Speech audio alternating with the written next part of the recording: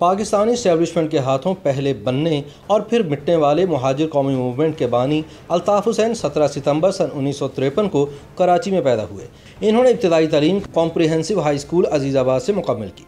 सन उन्नीस सौ सत्तर इकहत्तर के दरमियान अल्ताफ़ हुसैन ने फ़ौजी तरबियत का कोर्स करने के लिए नेशनल सर्विस कैडेट स्कीम में शमूलियत इख्तियार की, लेकिन बहुत कम लोग जानते हैं कि इस फ़ौजी तरबियत के फ़ौर बाद वो खुद भी पाक फ़ौज की बलोच रेजिमेंट में शामिल हो गया। सन उन्नीस सौ चौहत्तर में मेडिकल कॉलेज में दाखिला न मिलने के बाद अल्ताफ़ हुसैन ने इस्लामिया साइंस कॉलेज से माइक्रोबायोलॉजी में बीएससी की। फिर कराची यूनिवर्सिटी के शोबा फार्मेसी में दाखिला लिया, जहाँ 11 जून सन 1978 को अल्ताफ़ हुसैन और उसके साथियों ने all Pakistan Mohajir students organisation या A P M S O कायम की। कई बरस तक अल्ताफ़ हुसैन और इसकी नौमूद तंजीम को तालीमी इदारों में जमात इस्लामी की तलबा तंजीम, इस्लामी जमीयत तलबा की मुखालफत का सामना रहा। जब जमीयत के थंडर स्क्वाड नामी मुसल्लाबाजू ने यूनिवर्सिटी समेत करीबन तमाम तलीमी इदारों में इनका दाखिला बंद कर दिया तो अल्ताफ़ हुसैन ने मौक़ अपनाया कि हम जमीयत का मुकाबला नहीं कर सकते, क्योंकि इनके पीछे जनरल ज़ियाउल हक है, यानी जमातियों के साथ रियासत की ताकत है। ताहम फिर ज़ियाउल हक ने सिंध खसूस कराची में पीपल्स पार्टी को पीछे धकेलने के लिए अल्ताफ़ हुसैन के सर पर दस्त शफकत रखने का फ़ैसला किया। शहरी सिंध के एहसास महरूमी और मायूसी और पुरकशिश नारों के सहारे ज़िया जनता की सरपरस्ती में अल्ताफ़ ने आगे बढ़ने का सफ़र जारी रखा। ज़्यादा दौर में बलदियाती इंतबात के मौके पर नुमाइंदगी से महरूम आम लोगों को एम क्यू एम के ज़रिए अपनी सियासी नुमाइंदगी की उम्मीद नज़र आने लगी। ज़िया ने भी पीपल्स पार्टी को ठिकाने लगाने के लिए जमात इस्लामी की जगह मुहाजिरों को आगे लाने का फैसला कर लिया। एम क्यू एम ने इस माहौल का फ़ायदा उठाया और आठ अगस्त सन उन्नीस सौ छियासी को निश्तर पार्क में एक बड़ा जलसा करके ताकत के मुजाहरे का फैसला किया। गली मोहल्लों में जलसों और मुजाहरों के ज़रिए निश्तर पार्क जलसे की ज़बरदस्त तशहर की गई। मूसलाधार बारिश के बावजूद दो घंटे तक अल्ताफ़ हुसैन ने शोला बयानी की।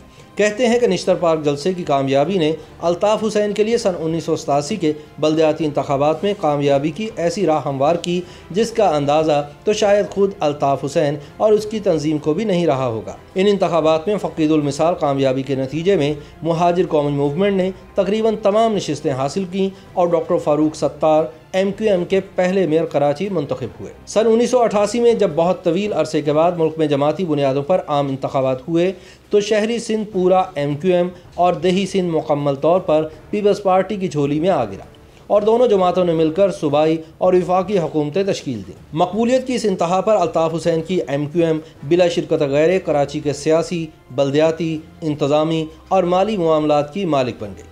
मगर ये सियासी तहा सन उन्नीस सौ नवासी में ही ख़त्म हो गया। इससे कबल सत्रह अगस्त सन उन्नीस सौ अठासी को तैयारे के हादसे में जनरल जयाउल हक की हलाकत के बाद कराची से ताल्लुक़ रखने वाले जनरल असलम बेग मिर्ज़ा फ़ौज के सरबरा बने, मगर नौ मंतखब वज़ीर अजम और पीपल्स पार्टी के सरबरा बेनज़ीर भुट्टो से उनके ताल्लुक कभी बेहतर दिखाई नहीं दिए। असलम बेग के ज़माने में बेनज़ीर अल्ताफ़ हुसैन की हिमायत से महरूम हूँ। और फिर अक्टूबर सन उन्नीस सौ नवासी में ऐवान में अदम अतमाद की तहरीक से मुश्किल बचने वाली उनकी हकूमत अगस्त सन उन्नीस सौ नब्बे में सदर ग़ुलाम इसहाक़ खान ने बरतरफ कर दी। बेनज़ीर ने इसका ज़िम्मेदार फ़ौजी इस्टेबलिशमेंट और ख़ास तौर पर खुफिया इदारों और जनरल असलम बेग को करार दिया और ये मौक़ इख्तियार किया कि जनरल बेग ने सियासी क़वतों को इस्तेमाल करके पैसे और ताकत के बल पर उनकी हकूमत ख़त्म करवाई। एम क्यू एम हकीकी के सरबरा आफाक अहमद के बकौल सन उन्नीस सौ नवासी में जनरल असलम बेग ने महरान बैंक स्कैंडल वाले यूनुस हबीब के घर, अल्ताफ़ हुसैन, यूसुफ एडवोकेट और मुझसे मुलाकात में कहा कि, भाई, कौमी धारे की सियासत कीजिए, अब आप लिसानी सियासत को खैरबाद कह दीजिए।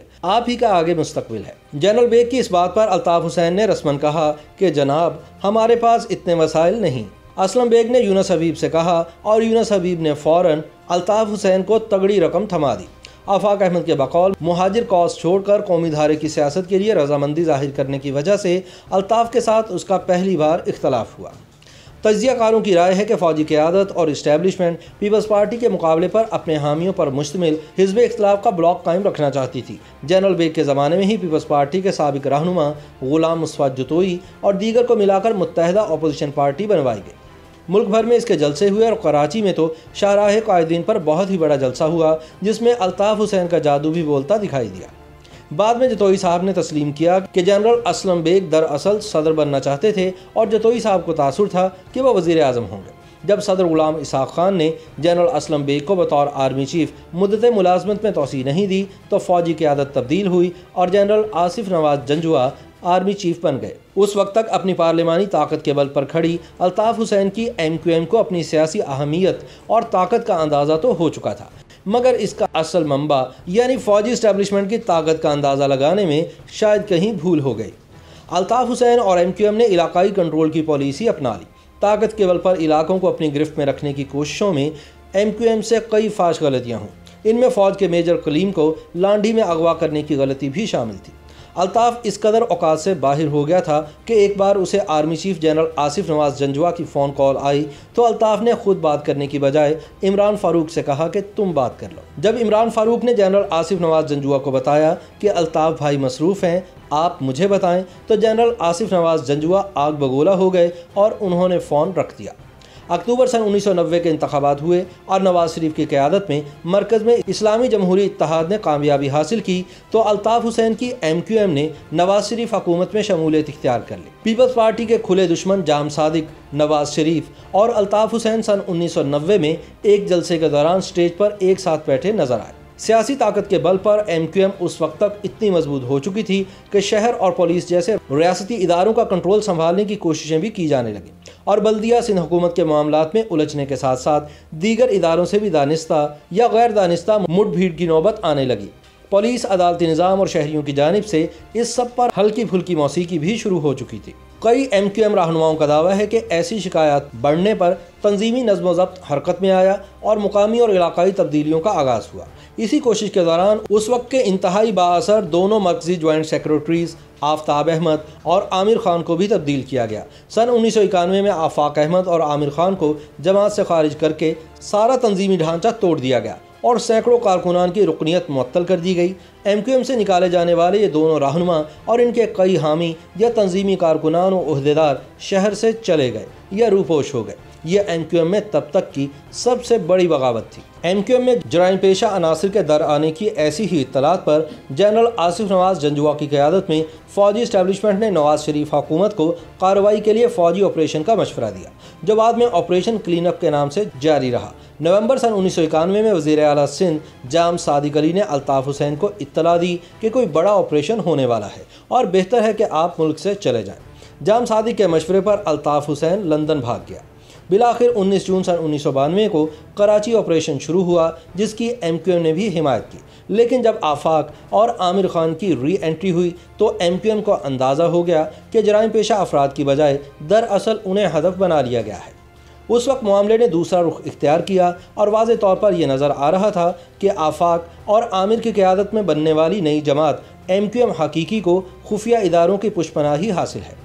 लंदन में बैठे अल्ताफ़ हुसैन की एम क्यू एम ने अपने खिलाफ इसी यकतरफा कार्रवाई की बुनियाद पर एहतजाजन हुकूमत से अलहदगी इख्तियार कर ली। एक तरफ़ पार्टी और कारकुनान ऑपरेशन के दौरान रियासत से एक तरह हालत जंग में थे तो दूसरी जानब क्यादत से रबता टूट जाने की वजह से रहनुमाई से भी महरूम। जब कारकुनान और तंजीम को अल्ताफ़ हुसैन की सबसे ज़्यादा ज़रूरत थी, तब उस तक रसाई और पहुँच सबसे ज़्यादा मुश्किल रही। इससे सिर्फ़ कारकुनान को ही नहीं, बल्कि अल्ताफ़ हुसैन को भी बेहद नुकसान हुआ। अल्ताफ़ हुसैन और उसकी जमात ने सन उन्नीस सौ तिरानवे में बतौर एहतजाज कौमी असम्बली के इंतबात का बाइकआउट किया, तहम सूबाई इसम्बली के इंतबात में भरपूर हिस्सा लिया, जिसके नतीजे में वो कराची की ताकतवर जमात बनकर सामने आई। इसी बरस जमात का नाम महाजिर कौमी मूवमेंट से बदल कर मुतहदा कौमी मूवमेंट रख दिया गया। तजियाकारों के मुताबिक अल्ताफ़ हुसैन की शख्सियत दो हिस्सों में मुनकसम रही। एक वो अवामी शख्सियत जो सन उन्नीस सौ छियासी से सन दो हज़ार के अवाइल तक दुनिया के सामने आई। और दूसरी वो जो गुज्त 20 साल से अब तक नज़र आ रही है। शख्सियत के दोनों रुख एक दूसरे के बरक्स हैं। पहले दौर का अल्ताफ़ हुसैन बहुत मज़बूत और आवाम से जुड़ा हुआ रहनुमा था। जिसे तंजीम पर मुकम्मल कंट्रोल हासिल था, जबकि सन 2000 के बाद अल्ताफ़ हुसैन कमज़ोर, बीमार और मजबूर हो गया था। लंदन पहुँचने पर अल्ताफ़ हुसैन का वास्ता मोहम्मद अनवर से पड़ा। ये वही मोहम्मद अनवर था जो पार्टी में तरक्की करके अल्ताफ़ हुसैन के बाद लंदन सेटअप में नंबर वन की पोजीशन तक पहुँचा। अल्ताफ़ हुसैन के साथ मनी लॉन्ड्रिंग या डॉक्टर इमरान फारूक के कत्ल जैसे मुकदमात में भी बतौर शरीक मुलजम सामने आया। इसी दौरान पाकिस्तान में जनरल अब्दुल वहीद काकड़ ने कराची ऑपरेशन ख़त्म करने का ऐलान किया। बाद अल्ताफ़ हुसैन की एम क्यू एम बेनज़ीर और नवाज़ शरीफ की मुख्तफ हुकूमतों में कम अज कम पाँच बार शरीक रही। बारह अक्टूबर सन उन्नीस सौ निन्यानवे को उस वक्त के army chief general Pervez Musharraf ने नवाज़ शरीफ की हुकूमत का तख्ता उल्टा और फौज ने इकतदार पर कब्जा कर लिया। मुशरफ का पूरा दौर सन 2007 तक एम क्यू एम और अल्ताफ़ हुसैन का आइडियल तरीन दौर था। मुशर्रफ के साथ अल्ताफ़ हुसैन का तीन नकाती माहदा हुआ। इनमें से एक ये था कि शहरी सिंध के तमाम इंतज़ामी इख्तियार एम क्यू एम के गवर्नर के पास होंगे। अगरचे सरकारी तौर पर ऐसा मुमकिन न था। ताहम वज़ीर अला सिंध अरबाब रहीम के साथ एक ऐसी अंडरस्टैंडिंग बनाई गई कि जिसकी वजह से डॉक्टर इशरतुल इबाद तवील अरसे तक उन खसूसी इख्तियार के साथ गवर्नर सिंध रहे। मुशरफ ने एम क्यू एम की सही और गलत हर बात मानी। उसके बदले में एम क्यू एम ने नवाज़ शरीफ और बेनज़ीर भुट्टो की सिंध और विफाक में हुकूमत साजी के लिए कभी हिमायत नहीं की। तजियाकारों का कहना है कि जनरल मुशरफ के सियासी अजाइम थे और उनकी तकमील के लिए उसे अल्ताफ़ हुसैन और एम क्यू एम की सियासी हिमायत की ज़रूरत थी। लिहाजा एम की सही और गलत हर बात मानी जाती रही। यूँ पुलिस समेत अरबन सिंध के तमाम इदारों के सरबराहान और अफसरान की तयनती से लेकर बलदियाती निज़ाम का ढांचा तब्दील करने और फ़ंड फ्राहम करने की शरात सब की सब मानी जाती रही। मुशरफ के साथ होने वाले माहदे का एक और नुकता ये भी था कि आफाक अहमद और आमिर खान को या तो पाकिस्तान से बाहर भेज दिया जाएगा या फिर जेल में ही बंद रखा जाएगा। और बैतुल हमजा समेत एम क्यू एम हकीकी के तमाम दफातर ख़त्म किए जाएँगे। इसकी बदौलत दोनों रहनुमा लगभग आठ बरस जेल में रखे गए। लांडी में हकीकी का मरकजी दफ्तर भी मस्मार कर दिया गया। इसके बदले में एम क्यू एम ने जनरल मुशरफ के मुखालिफिन यानी नवाज़ शरीफ और बेनज़ीर भुट्टो की सिंध और विफाक में हुकूमत साजी के लिए कभी हिमायत नहीं की। ताहम सुख के इस ज़माने में पार्टी में अंदरूनी तब्दीलियाँ और बैरूनी मसाइल सामने आते रहे। लंदन में बैठे अल्ताफ़ हुसैन ने नदीम नुसरत को अमेरिका से वापस बुलाया और ये बात मोहम्मद अनवर और बहुत से दीगर रहनुमाओं को पसंद नहीं आई। कराची और लंदन में इन तब्दीलियों ने पार्टी में नई, मगर खुफिया धड़ेबंदी को तेज़ कर दिया। आमिर खान और आफाक अहमद को अल्ताफ़ हुसैन के कहने पर मुशरफ दौर में कई साल जेल में रखा गया, लेकिन बाद में सॉफ्टवेयर अपडेट होने के बाद वो अल्ताफ़ हुसैन की क़्यादत में ही एक बार फिर एम क्यू एम में शामिल हो गए। एम क्यू एम के अहदेदार तेज़ी से तब्दील किए जाने लगे और नए नए वापस आने वाले रहनुमाओं आमिर खान और नदीम नुसरत की राय को अहमियत मिलने लगी। इन फैसलों पर नाराज़ कारकुनों ने अपने साथियों की तंजीमी खिलाफ वर्जियों सरकारी इदारों से मुतालिक माली बदनवानियों और दीगर बिगड़ते मामला पर पहली बार दबे लफ्ज़ों पार्टी के अंदर और फिर खुलेआम समाजी महाफिल और सियासी बैठकों में एतराज़ करना शुरू किया। मगर अल्ताफ़ इससे बेखबर रहा। लंदन और कराची इन तब्दीलियों से गुजर ही रहे थे कि जनरल मुशरफ ने अल्ताफ़ हुसैन को मशवरा दिया कि वह पाकिस्तान वापस आ जाए ताहम एम के कई रहनुमाओं ने वतन वापसी पर कत्ल हो जाने के खदशात ज़ाहिर करके अल्ताफ़ हुसैन को लंदन में ही रहने का मशवरा दिया। वजह यह थी कि हर सतह पर नए अहदेदार नहीं चाहते थे कि अल्ताफ़ हुसैन कराची वापस आए और तंजीमी खिलाफ वर्जियों या माली बदनवानी के मामला से वाकिफ़ होकर इनमें मुलविस अनासर के खिलाफ कोई इंतहाई कदम उठाए। इसी दौरान मुशरफ की हिमायत में कराची में एम क्यू एम के हाथों बारह मई सन दो हज़ार सात का वाक़ पेश आया, जिसमें दर्जनों अफराद जान की बाजी हार गए। इसके बाद लंदन में अल्ताफ़ हुसैन की सालगिरह के दिन इमरान फारूक के कत्ल की वारदात भी हो गई। उस वक्त तक इमरान फारूक, अल्ताफ़ हुसैन से राहें जुदा कर चुके थे और ये अफवाह थी कि वो अपनी सियासी जमात की बुनियाद रखने वाले हैं। लेकिन इससे पहले एक बड़ी गड़बड़ तब हुई जब सन 2007 में बेनज़ीर भुट्टो का कत्ल हुआ और सन 2008 के इंतबात में ज़बरदस्त कामयाबी हासिल करने वाले आसिफ जरदारी ने जनरल मुशरफ को ऐवान सदर से रुख्सत किया और ख़ुद सदर बन गए। जनरल मुशरफ का जाना अल्ताफ़ हुसैन के लिए घबराने वाला मौका था, क्योंकि जरदारी को ना तो अल्ताफ़ को साथ लेकर चलने की ज़रूरत थी और ना ही वो इसके ख्वाहिशमंद थे। फिर जुल्फ़ार मिर्ज़ा कार्ड इस्तेमाल हुआ और एम के एम के हानी मून का अख्ताम होता नज़र आया।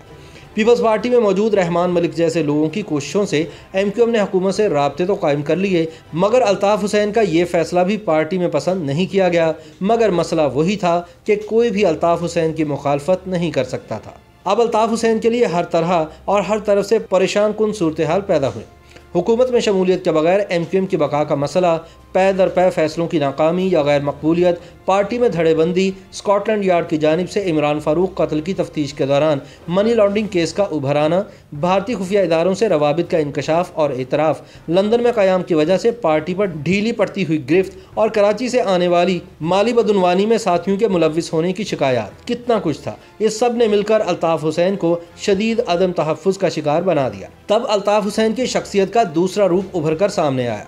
यानी कम्प्रोमाइज जहनी तौर पर मुंतशिर और मगलूब। न वो करोफर, न वो तुम तराक और न वो पहली सी रमक। उस दौर में कभी कभी तो ऐसा लगता था कि जैसे अल्ताफ़ हुसैन एक नफसियाती मरीज़ है। उसके अलावा जिसमानी तौर पर कसरत शराब नोशी, गुर्दों की बीमारी, बदतरीन ज़्याबतिस और बेखाबी के मर्ज ने अल्ताफ़ हुसैन को अंदर से खोखला कर दिया था। टीवी चैनल्स पर अपने खिलाफ होने वाली गुफ्तु और उसका पार्टी रहनुमाओं की जानब से मुनासिब दिफा न होने पर रहनुमाओं से अल्ताफ़ की नाराज़गी बढ़ती चली गई। और फिर बिलाखिर वो खुद मौका बे मौका तकरीरों के दौरान बिल्कुल दूसरे रास्ते पर जाना शुरू हो गया। सन 2013 में जनरल रहील शरीफ के ज़माने में ऑपरेशन रद्दुलफसाद शुरू हुआ और मजहबी और फिरका वाराना शिदत पसंदों के साथ साथ सियासी जमातों के जराम पेशा अनासर के खिलाफ भी कार्रवाई का आगाज़ कर दिया गया। एम को भी बता दिया गया था कि किसी भी किस्म की शिदत पसंदी या अस्करियत पसंदी की गुंजाइश नहीं रही। लेकिन जहनी अमराज, दबाव, मायूसी और नाकामियों का शिकार अल्ताफ़ इस नए ऑपरेशन को समझ ही न सका। जब बाज़ मौके पर गवर्नर इशरतुल इबाद को फ़ौजी स्टैब्लिशमेंट की जानब से नज़रअंदाज किया गया, तब जाकर अल्ताफ़ हुसैन को मामला की संगीनी का एहसास होना शुरू हुआ, लेकिन तब तक बहुत देर हो चुकी थी। एम क्यू एम के एक रहनुमा के मुताबिक अल्ताफ़ भाई घर पर जाकर अपनी मर्ज़ी से और किसी मशवरे के बगैर ही कारकुनान या टी वी से खिताब शुरू कर देते और 22 अगस्त सन 2016 की फ़ौज मुखालिफ तकरीर भी अल्ताफ़ ने अपने घर से ही की थी, जिसके बाद से पाकिस्तानी मीडिया पर इसकी तस्वीर दिखाने या तकरीर सुनाने पर मुकम्मल पाबंदी आयद कर दी गई, जो आज दिन तक बरकरार है।